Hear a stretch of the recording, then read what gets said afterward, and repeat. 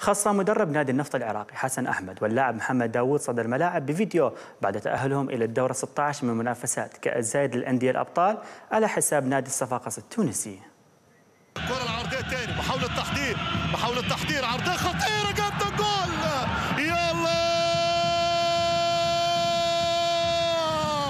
إحنا الحمد لله البارحه ادينا مباراة فنية جيدة تكتيكية واستطاعنا يعني التأهل من خلال خصم أو منافس صعب جدا يعني يمتلك مقومات النجاح بياربه جمهوره إضافة إلى تاريخه الكبير أكيد إحنا اللي اللي قدمه شبابنا بدون محترفين بدون جمهور أكيد هذا شيء يعني جيد ويعطينا يعطينا الثقة العالية بالتأهل بالأدوار إن شاء الله القادمة.